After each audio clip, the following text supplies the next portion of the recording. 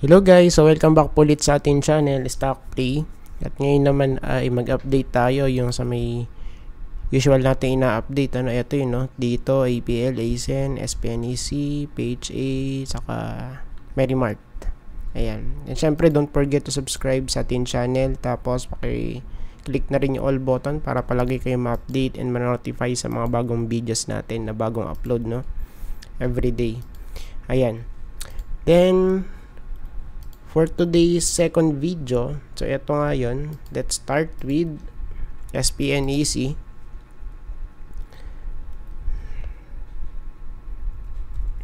May update na ba rito? Parang wala pa din eh, no? Wala pa din guys. Yun lang. Let's skip. so, pagka ganyan, ang kailangan natin gawin ay maghintay.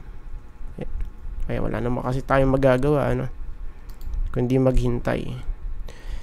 Ngayon, next for uh, SPNEC, eto na, ASEN. For ASEN guys, okay, medyo nag-hold dito, no? Dito guys, medyo nag-hold siya. And tignan natin kung magre-retest. If ever naman na mag-rally, pwede mag-retest dito, yung sa may previous retest niya, no? Noong July, ano ba to? 3. 5.48 So, dito yon we have reference.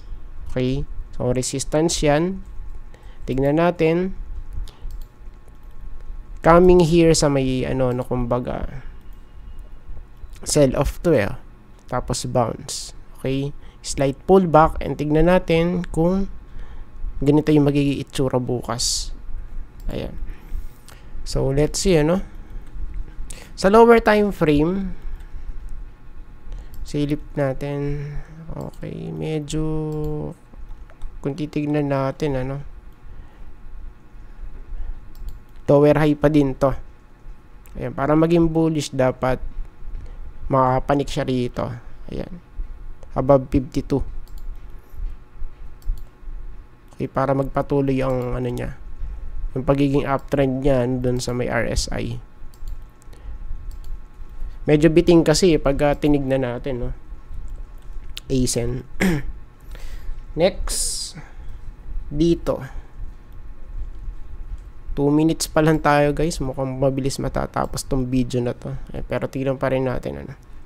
For this one, let's go back dito sa daily chart since naka 4 hour chart tayo. Dito medyo na, ano pa nag-hold pa rito, no? Pero much better kung dito guys. Ayan, sa 2.44. And worst case dito, sa 2.36. Pero remember, yung local bottom natin for dito, eto eh. 2 point ano ba to? 2.2, malapit dyan ano? Noong May. May, June, July. Ayan. So, halos ano ba to? Ayan. So, may git isang buwan na actually. Pero yung ano natin dito kasi, ito muna. Yung pinaka-target natin na support, 2.44. If ever na mag-hold, edi maganda, no? Ayan. Pero dito, pwede tayong mag-add in between. Since meron tayong reference dito, may week. Kaya, ito, oh. Noon June lang yan, ano? Last week noon June. Okay. Let's add somewhere here. Ayan. 2.4, 2.44 or 2.4. So, yun muna kasi sa chart natin, ito yung pinakamalapit na support eh. Base sa horizontal. Plus, if isasama natin yung confluence sa diagonal support, eh, ito. Ang potential candidate, mas maganda, 2.4 support. Ayan. And overall, Since nasa baba pa rin to actually ni 200 eh. 'Di ba? Oh, ayan oh. Still bearish pa rin to, guys. So yung concept natin dito is still the same pa rin. We have here low tas higher low. And sana lang is wag nang buusan pa to, no? Let's see na lang. Ayan. So for this one, ito muna kay dito.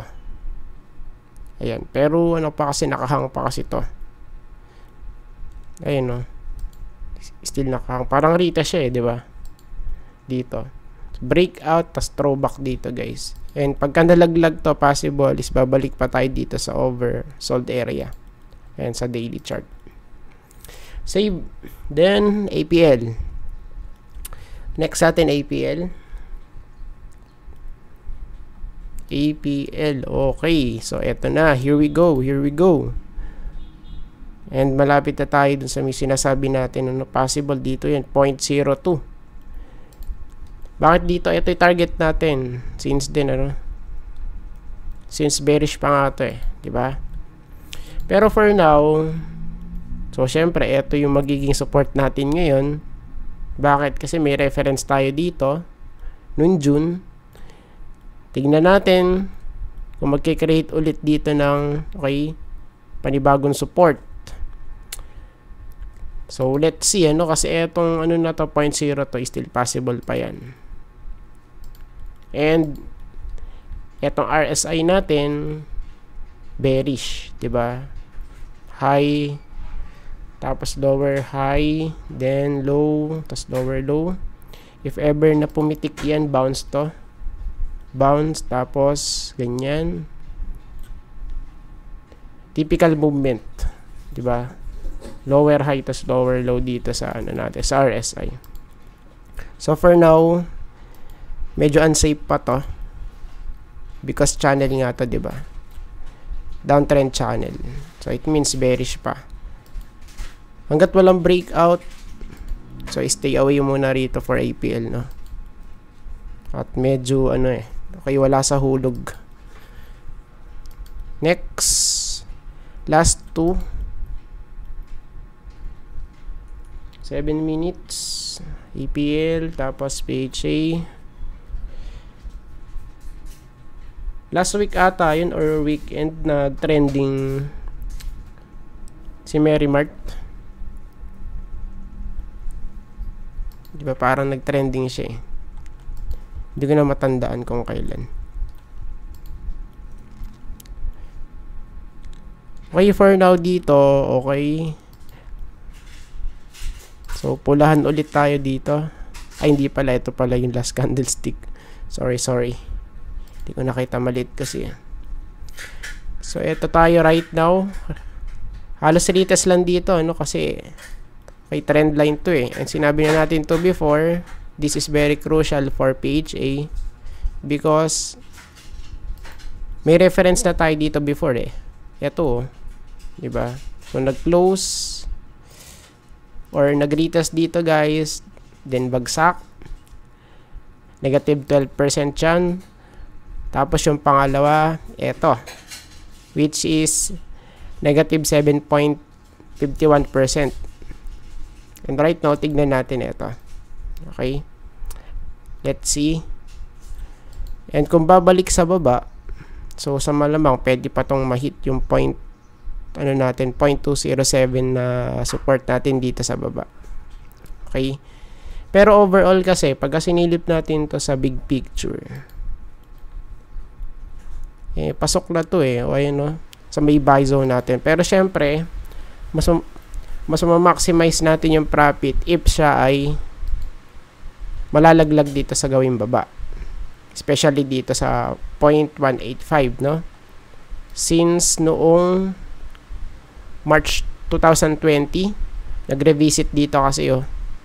And kaya pwede natin to gawin reference, no? For bottom picking. Especially, kung titignan natin, valid na valid to, eh. 2006, meron dyan. 2004, 2003, 2002, 2001, 2000. Okay? Kaya yung 0.185 na yun, magandang ano yan, kumbaga, bottom pick for PHA.